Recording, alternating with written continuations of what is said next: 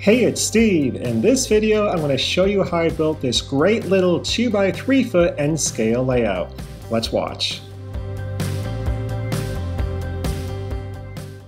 Okay, so this project started back in the spring of 2020 as part of a simultaneous build of four different layout projects.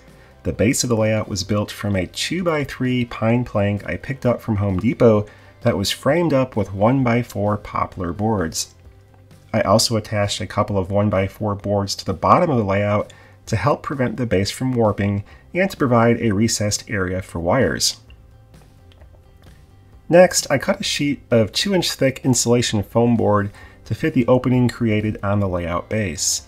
I glued that in place with regular wood glue and then cut to size another 2 inch thick sheet of foam board for the next layer. I cut up additional pieces and stacked them up to create the rough scenery profile using the loop of track on the layout as a guide for where to cut and place the pieces of foam. Once the pieces were cut to size, I glued and nailed them to the base of the layout. But for the larger mountain on the left, I glued and nailed most of the, of the pieces together, but not to the base of the layout itself, so I would still have access to the tunnel area until that area was completed.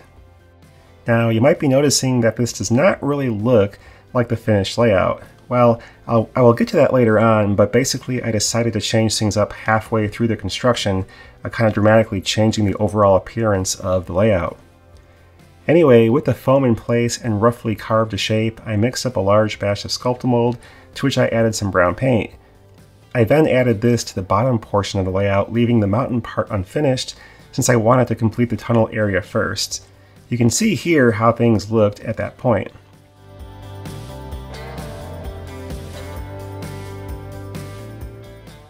Before laying the track, I scraped clean the foam areas where the track would be placed.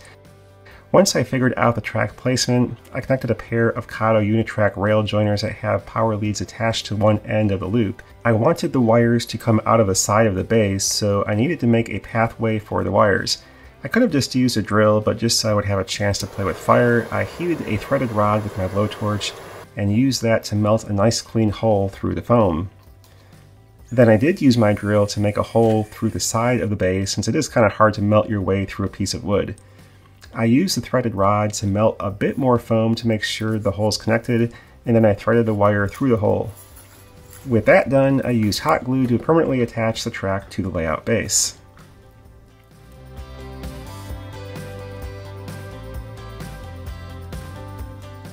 Next, I solder the plug socket to the wires coming from the track putting some heat shrink tubing over the solder joints.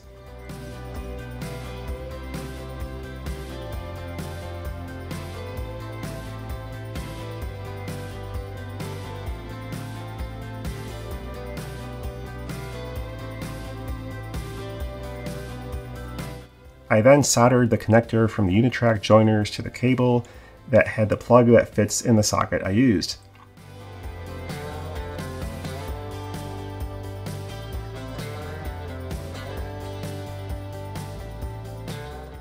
Then plugged the wire into my Rokuhan battery powered controller and to the layout and did a quick test run to make sure that everything worked okay.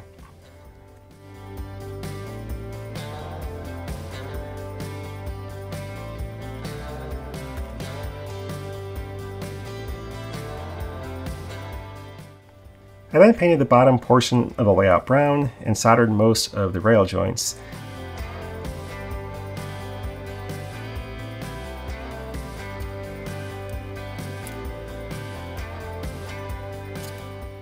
With that done, I painted the rails with a Testors Rail Brown paint pen. Then I covered the tunnel area with dirt and ballasted that section of track, soaking everything well with diluted matte medium.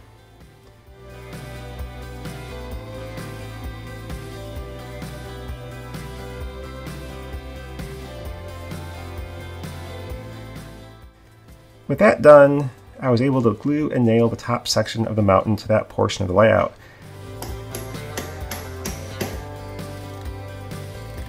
When trying to glue on one of the tunnel portals, I promptly broke it, but was still able to get it glued in place with a liberal helping of wood glue. For the other portal, I just cut a piece of foam to shape and glued that in place since I didn't have another of the precast plaster portals.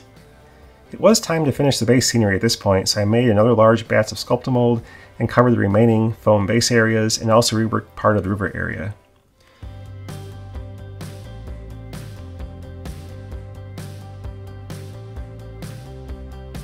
I did lose the next section of the video where I put the first layer of ground foam and dirt on, but basically I covered the entire layout with dirt and then a layer of ground foam, some static grass in some areas as well, and filled in the riverbed area with some gravel and coarse dirt.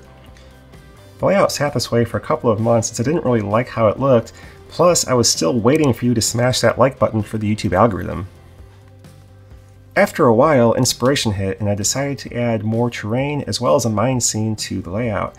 So I took out the smaller bridge and another section of track using a soldering iron to melt the solder so I could remove those track sections.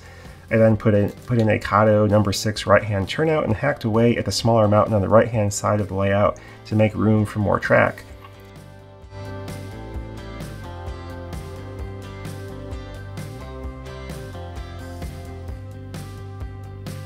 Next, I cut up more insulation foam board and stacked that in the middle of the layout, hot gluing it in place once I had the general arrangement like I wanted.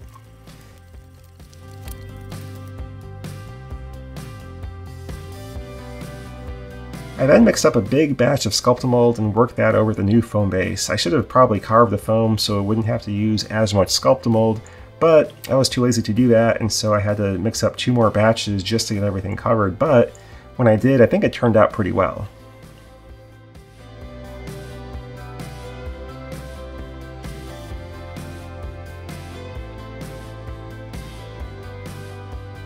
Took about a week for the Sculptamold to fully dry since it was so thick and the humidity levels were fairly high. Once it did dry though, I covered everything with a brown wash and then the next day came back with a black wash. You could do a couple of washes of other colors as well, such as one that's more yellow and one more of a burnt umber, but just doing the brown wash and the black wash usually produces uh, you know, nice looking rocks with enough shading variation to look pretty realistic. To make things pop more though, I always do some dry brushing with gray paint, I don't like using white paint for highlights on the rock since it looks a little too stark, but a light or medium colored gray paint usually does the trick pretty well.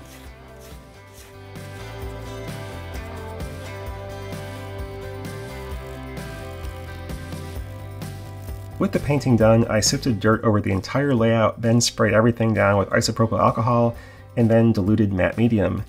Once that dried, I came through and sprayed on the glue mix where I wanted the grass and then added a layer of static grass.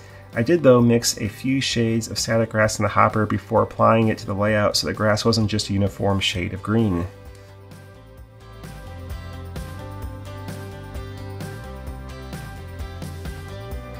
So next up I needed trees, and quite a few of those actually. I picked up this box of 100 Heike or Heike trees for about $30. They look pretty fake out of the box, so I wanted to, to paint them and flock them to make them look more realistic. I tried out different techniques, but what eventually seemed to work the best was to paint them all a flat black, then spray them down with a deeper green color, uh, from the top at least, and then I sprinkled on flocking to the wet paint, and then let the paint dry. I then came back and sprayed them down again with more glue and then more flocking and did that a few more times. For the second batch though, so I didn't end up, you know, using half my flocking just on the foam board itself, I just dunked each of the trees after they were painted and the paint dried into a bowl of matte medium and then rolled them in the flocking material so I wouldn't waste as much flocking. And then I did that a couple times to kind of get everything coated pretty well. You can see what the trees look like here having had the flocking applied, and I think it does look definitely a lot better than they looked out of the box. To install the trees, I just poked holes into the scenery with a screwdriver and then glue the trees into the holes with a dab of wood glue.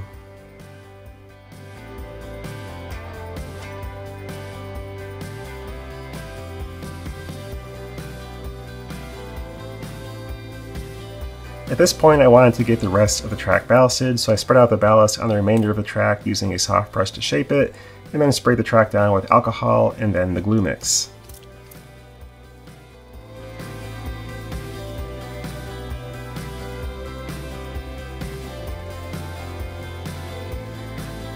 I decided at this point to add a train station to the layout as well, and so I wanted to have a dirt access road to the station.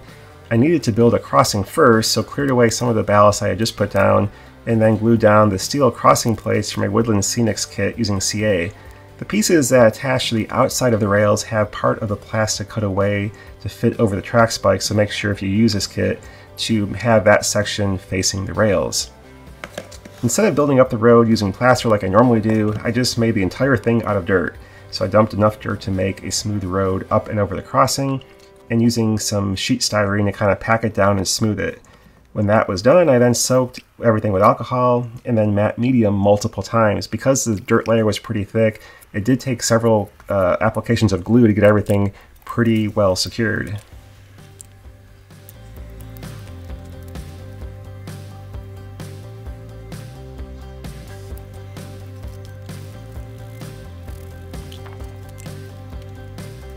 I forgot though that I do need to have a hole for the wires from the station to go through since it is a lighted station. So I drilled that out, trying not to make too much of a mess on my new road surface. I glued the station in place and then added more ballast to allow for passengers to walk from the platform to the passenger car steps. I then added more dirt and glue around the station and continued making the road smoother.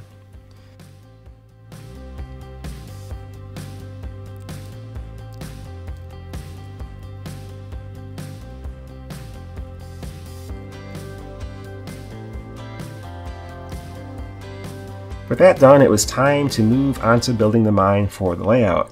I decided to use the Walthers Glacier Gravel Company kit. I've used this kit in the past and like it. In fact, on my first 15 by 20 inch micro layout, uh, the, the mine scene in that layout was actually a kit bash of this same kit. I wasn't going to be able to build the kit exactly as it showed uh, in the directions, but it ended up being actually pretty close and closer than I thought it was going to be. Anyway, I cut out most of the main kit pieces, writing the part numbers of each piece in pencil on the piece itself. Then I traced out each piece onto some chipboard, labeling those pieces as well. This way I could cut out the chipboard pieces and kind of build the kit out of the chipboard to figure out exactly how I wanted to have everything arranged without worrying about damaging the actual kit pieces. I assembled most of the bottom sections of the chipboard version of the kit, then place it on a layout. Using my tallest piece of rolling stock, I figured out how much of the wall section would need to be cut out to allow for trains to pass through the right side of the structure. I also needed another wall inside the structure, so I cut that out from another uh, one of the kit pieces I was not going to have to use to fit on the inside and serve as a wall alongside the main opening.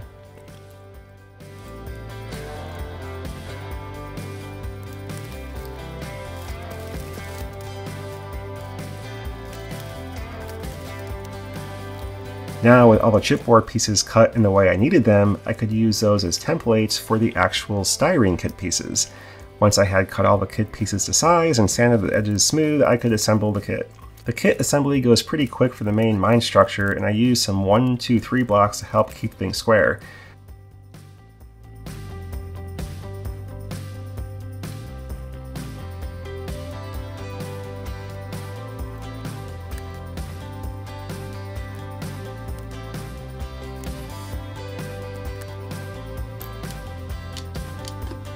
Once I had the base section done, I took it back to the layout to make sure everything was still going to fit okay, and then once I was sure of that, I proceeded to build up the rest of the structure as the kit direction showed.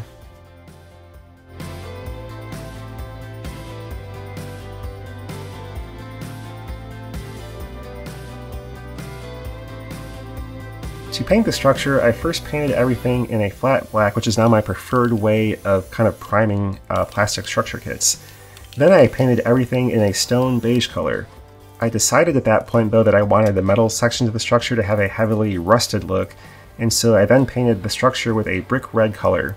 I then needed to go back and paint the concrete sections once again, so I used some cardboard to cover the sheet metal portions and then spray painted the concrete areas uh, the original beige color that I had done previously. With that all done, it was time to finish assembling the structure pieces. The kit includes dual loading bins that extend out from the structure, but I only actually had room for one bin, uh, and so I cut those pieces of the kit down in half. And the conveyor belt sections are trickier to assemble, and I had to kind of cut those to fit the uh, space that I had on the right side of the layout as well.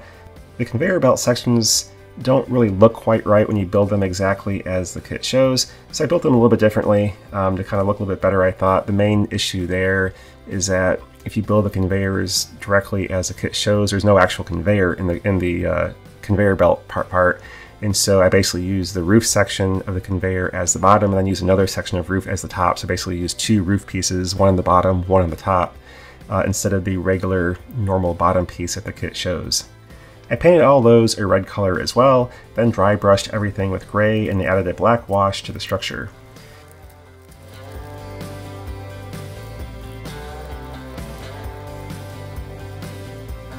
This point, it was time to wire up all of the lights. I put this off since I don't really like wiring as much as other portions of layout construction, but it needed to get done.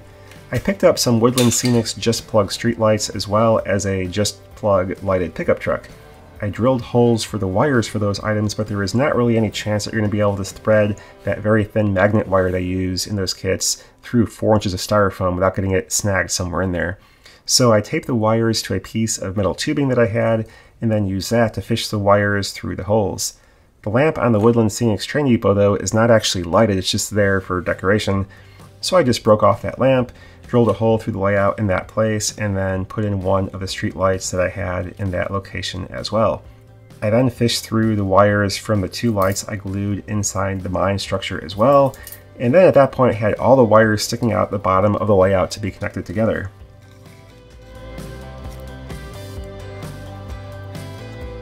I mixed up some ballast and matte medium to make a paste that I could use to kind of spread around the base of the mine structure to help hide any of the gaps and to help secure it in place. I did have to shim up one side of the structure to keep it level and use some chipboard to do that, gluing everything in place, and since I was going to use that ballast paste, it was all going to be hidden anyway. I glued the structure down with some wood glue, weighted it down, and then applied that ballast paste around the edges of the structure. I added a loading bin and conveyor belts, and then I also mixed up some dirt and matte medium to help secure the sides of the conveyor belt along the edge of the layout. I then used some CA to glue down the pickup truck and to glue in the streetlights around the station. I needed to wire up the lights to the Just Plug controller as well as to the battery holder. I played around with different ideas and then decided to glue the battery holder to the back of a small black project box. This would then fit inside a larger project box and to make the opening in the lid to that box, I heated up a knife with my blowtorch and then cut through the plastic to make the opening I needed. A hot knife will cut through styrene super easily and it makes, uh, makes it a lot faster to cut any type of opening where you don't need a really, really precise cut.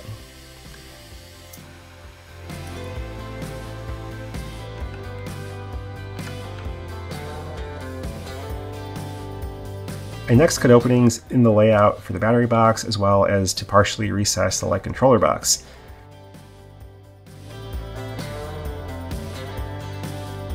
The wires from the lights weren't long enough by themselves to reach the controller box, so I had to solder on some extensions to each of the wires.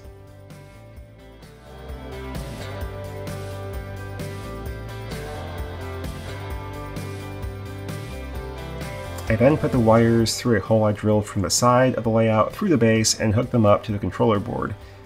I had to also solder a wire from the controller box to the toggle switch, and then from the toggle switch to the battery holder, and then from the battery holder back to the controller box, so I could turn the lights on and off with that switch.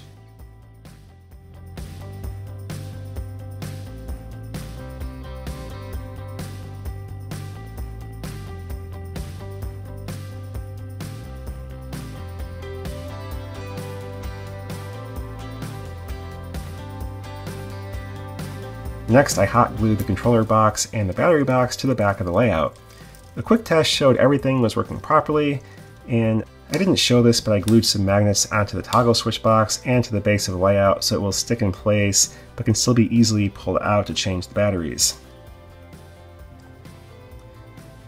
Next, I glued the wires to the base of the layout using some hot glue and then added wood strips to help protect that wiring area and then glued on some pieces of chipboard over the wires to help prevent them from being snagged and pulled out uh, if the layout is kind of slid around on something that might have something that might grab those wires.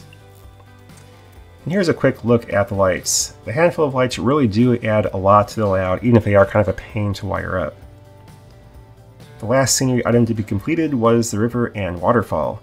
I once again used EnviroTex Lite two-part epoxy along with cotton balls for the waterfalls I've done in some previous layouts. I mixed up a cup of epoxy, stirred it up well, and then stretched out some cotton ball pieces and soaked those in the epoxy. I then draped the soaked cotton balls on the layout where I wanted the waterfall to be. I worked on multiple pieces of cotton to build up the waterfall and the rapids area above the waterfall until it looked pretty much the way I wanted it to. Once I had the waterfall mostly done, I poured most of the remainder of the epoxy into the river bottom area, and then I poured the rest along the upper river area as well, letting it run down where it wanted to. Added a little bit more cotton and got that arranged as well until I thought everything looked good.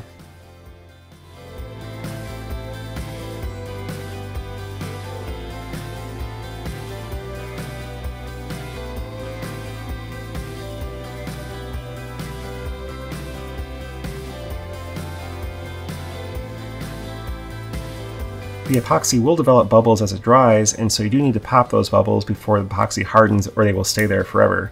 I like to wave a lighter over the epoxy to quickly pop those bubbles, but you can also just breathe on it through a straw to remove the bubbles and that will work as well. I came back and did two more layers of the epoxy on the bottom river area to kind of fill that in over the next couple of days. I didn't want to do all that in one pour, since I wasn't sure how long that would take to dry at that point, and there's more risk of the epoxy cracking the thicker the layer is that you pour in. While the water feature was curing, I painted the wood trim on the layout a flat black, then came back and touched up the scenery along the edge of the trim. When the first coat of paint was dry, I lightly sanded the trim and then added a second coat of black paint. To finish off the trim areas, I mixed up some matte medium and gloss medium, about two-thirds matte medium to one-third gloss medium to help create a satin finish. I applied two coats of that mix to the trim to help enhance the look and to add a layer of protection to the trim.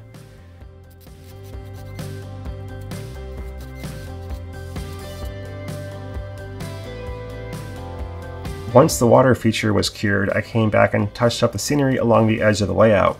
The epoxy likes to creep up into the surrounding scenery, and that can sometimes look good, like wet dirt along river for example, but in other cases it doesn't look quite right. It is easy enough to fix though by adding a little glue and additional dirt or ground foam. I also added some more turf to other areas of the layout and then glued on a few more trees as well.